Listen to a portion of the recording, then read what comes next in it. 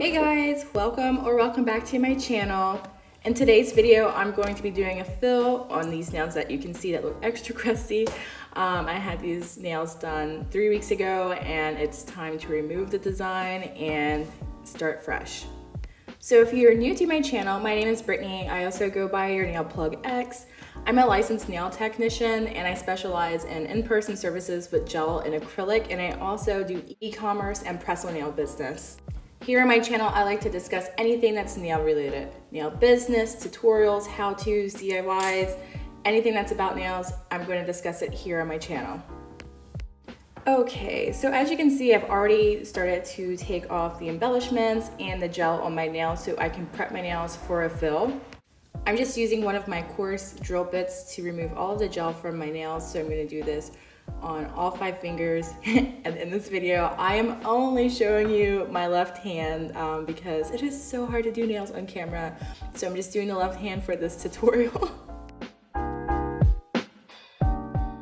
All right, now that I have taken most of the gel off, I'm just going to use my cuticle pusher and I'm gonna push back the cuticles on all of my fingers. And you don't have to be super rough when you're pushing back your cuticles, just, you know, push back enough and scrape and make sure you can expose all of that dead skin there that we can buff off here in a moment.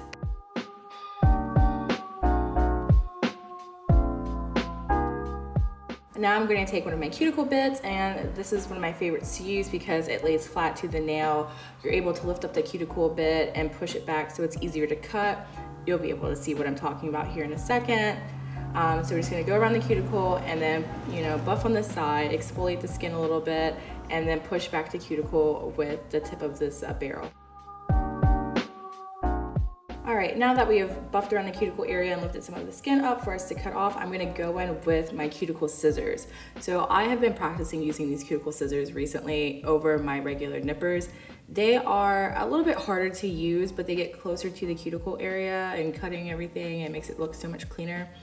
I don't know which one I prefer, honestly, right now. I'm still learning. But comment below which one you prefer. And when you're cutting your cuticles, just make sure you're not cutting any live skin. Okay, and the last thing I'm gonna do around my cuticle is just take the little cuticle ball uh, drill bit and I'm just gonna go around the skin lightly and I'm not gonna be pressing into my actual nail plate. I'm just using this on the skin to buff any skin that might be sticking up and just to exfoliate that area. Now that that's done, I'm gonna go in with my sanding band and a medium grit, and I'm just gonna go in and rough up the new nail growth, and I'm gonna remove any of that black gel that's still left around um, the previous gel that I had on my nails.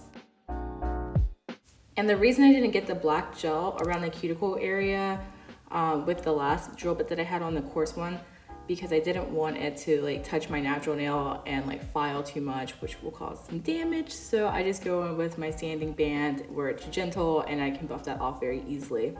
All right, now I'm just gonna take my Valentino dehydrator and go in on all of my nails and just use that on all the new growth that's exposed there um, to make sure it's completely prepped and dehydrated.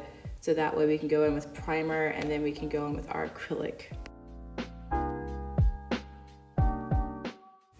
Okay, now I'm just gonna take my Young Nails Protein Bond Primer and go in and do the same thing, add this to all of my five nails. And as you'll see in this video, I'm using different products. So I'm not using uh, like all of the Valentino or all of the Young Nails or all of the Kiara Sky.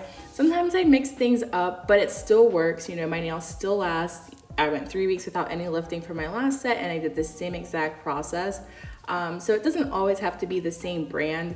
I know sometimes it recommends that and I've, sometimes it can cause problems, sometimes it'll work great, it all depends. It's also a, just a trial and error situation where you just test out some things and see how it goes. But now that the nails are fully prepped and ready to go, we are just going to go in with our acrylic now and we're gonna fill in. And I'm also gonna reshape my nails a little bit because as you can see, the tips are a little bit like going inwards, like a coffin almost, like the coffin shape, which we do not want. And that just happens from, you know, wear and tear daily. And then also my exposure to acetone in the files when I'm doing my client's nails so when I need to reshape my nails into the square shape again, I just add acrylic to the tip as you can see, and I just go ahead and build out the sides a little bit and I blend it downwards. Um, and then I eventually just blend it all together, but this will help me get, you know, a better shape than I had before. And you can see here how the shape is coming together a little bit better, um, which is great. So with the Kiara Sky acrylic, I've noticed that sometimes it's not fully blended. So when I'm putting it on, I'll have like a piece of pigment in there, which would be like a dark, like for this color and like one of the other colors I use, it's like a very dark brown color that will just like bleed into the rest of the acrylic, which I don't really like that, but I don't know. Let me know if you've had that problem. on to the next step. All right, now that we have our acrylic laid and it's fully dried, I'm gonna go in with um, one of my drill bits. This one is like, what, which one is this? It's a medium safety bit, whatever. You know, guys, I am horrible with the drill bit names, but this one's one of my favorites to use. It's a medium grit, um, so it gives a smooth surface and it really helps me like debulk the nail. So I'm just gonna go in and debulk the nail and um, just kind of crisp up that shape there.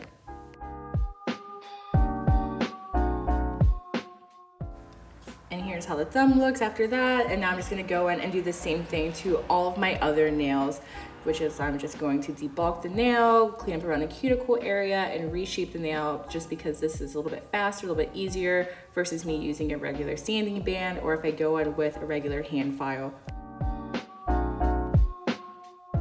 Okay, this is our next to last step to finish our acrylic fill today. I'm just gonna go in with my sanding band, seal the cuticle area, and completely smooth and buff the whole entire nail and just finish up anything I didn't do with the last drill bit.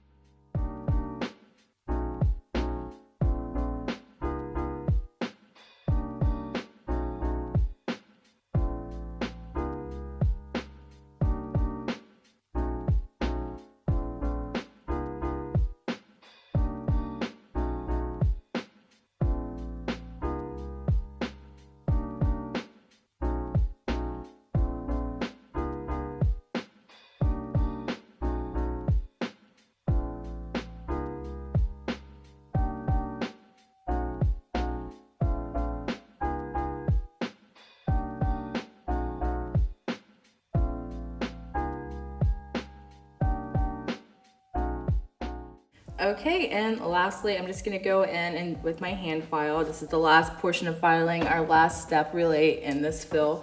Um, so we're just gonna go in and just touch up all the sides there up near the sidewall and just on the top just to make sure that I have the shape that I want. Everything looks crisp and clean. Uh, these hand files, I got off of Amazon because I needed something like immediately but they're horrible. I wouldn't suggest them. But I do have some files linked in my Amazon storefront that are great and I do recommend those. They unfortunately just were out of stock when I needed to order these last week. okay, so I have washed my hands and brushed my nails clean so there is no debris or dust on there. And now I'm gonna go in with a nail design. So I didn't really know what I wanted to do today, but I was like, it should be something fall, it should be something cute, it should be something a little bit edgy, like my style. So I'm gonna go and, and do a tortoise shell uh, nail design today. So I'm not exactly sure why I haven't ordered a transparent brown and orange yet. I really don't know, but it's okay. I'm gonna make my own transparent color. So as you already saw, I put a base coat down um, on the palette. I'm just gonna mix it with a little bit of this orange color to give me a transparent orange for the base of the tortoise shell nail design. I'm just gonna make sure this is fully blended before I put this on my nails. And for like the ratio of how much gel, like color gel to base gel is really up to you. Whatever color that you wanna go for, you know, just keep blending it, add a little bit at a time to you get the color and consistency that you want.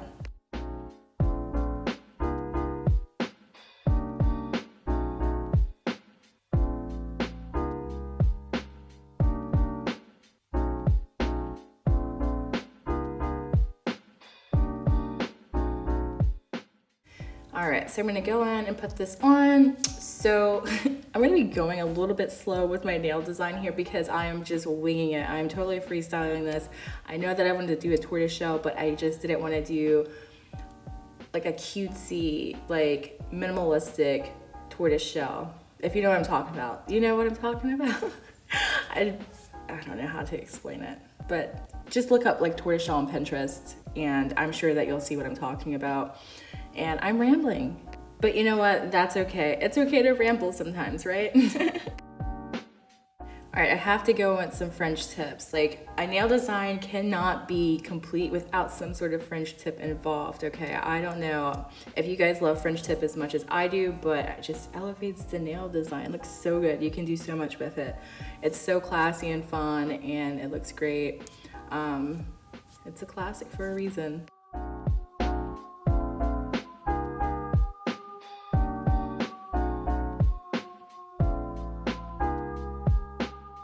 Right, so I have the base on all the nails for where I want to do the tortoise print. Um, so I'm just gonna take this very dark chocolatey brown that I got from D&D. This is really pretty. This is like one of the best browns that I've had. Um, anyways, I'm gonna take my blooming gel now from Mia Secret and I'm gonna put this over top of all of the color that I've added to my nails. With the blooming gel, I'm just gonna do one nail at a time. That way I make sure I get the spread effect that I want on each nail. Um, if I was doing this on a client, I would probably do two to three nails at a time. So as you can see right here, I went in with a dotting tool. I actually went back and I redid this nail because I hated how it started to look. I mean, it looks cool, but it wasn't the, it just wasn't giving what I wanted it to give. So for the next nail, I'm gonna show you what I actually did. Um, so I went, in I went back in with the blooming gel over top and then I took my flat ombre brush from Nails by Dev and I just went in with a little bit of that dark brown color and I just kind of blotted it on in different spots but you see how much better that looks like it looks so much more realistic and not as um, I guess like it blends way better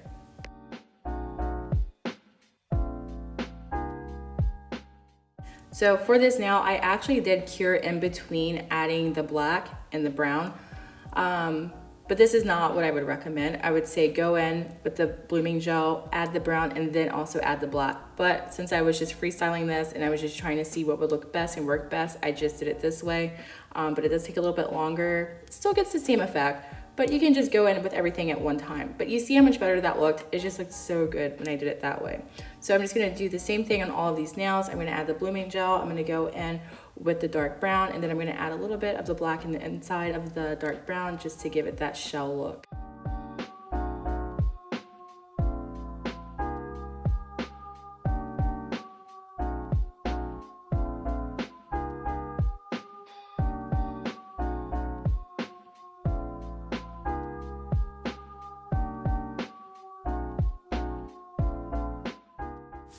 Here's how all of the nails look now that I have the design on it.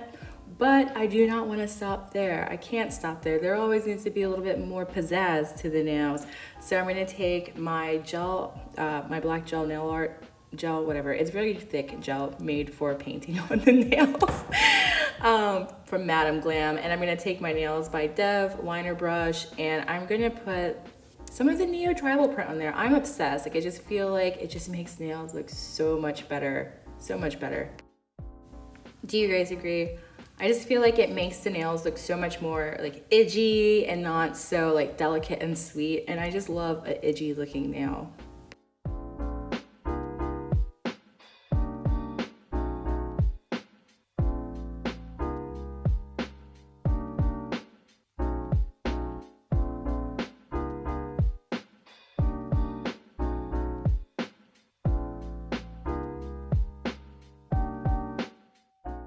But I'm also thinking like, why stop at the Neo Tribal print? Why not add some barbed wire to the nails? Like we wanna be like, it's fall time, but I'm not playing. I am ready to kick ass with my nails, okay?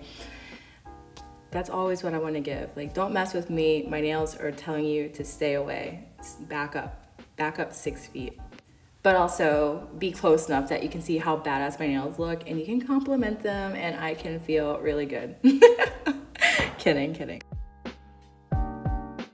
Also guys, if you're enjoying this video and you like other videos like this, feel free to follow me on TikTok and Instagram where I post more tutorials, how-tos, and other short form content that you can consume in under 60 seconds. And if you're looking for affordable nail art supplies to do DIY nails at home, start a press-on nail business, or anything for your nails in general, use the link down below to go to my Amazon storefront where I have things there for you that you may find useful.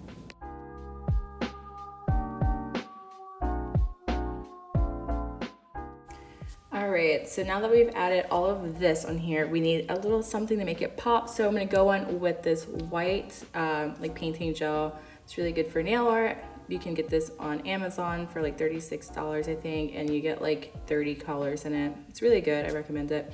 So I'm just gonna go in and add some pops of white with the same neo tribal print designs on uh, the full covered nails.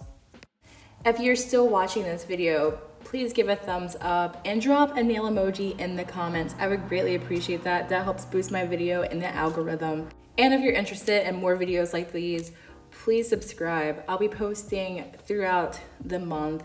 I don't have any set days, but I will be consistent with fun nail tutorials, business talks, and so much more.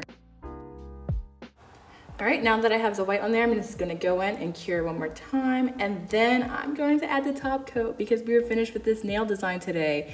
I didn't add any bling or any embellishments, but that's okay. I really like this nail design. It's very fall. It is my style. I think it's cute and I think it'll match like mostly everything I'd wear. So I don't know, let me know if you'd wear this nail design down below. And we're gonna go in with some cuticle oil. You know, you cannot be crusty. You cannot have the cute nails and have crusty looking cuticles and dry hands. It just doesn't make any sense. Here's the finished result. Very cute. I love these. Um, I love a good freestyle. Thanks for watching. Don't forget to like, comment, and subscribe. Bye.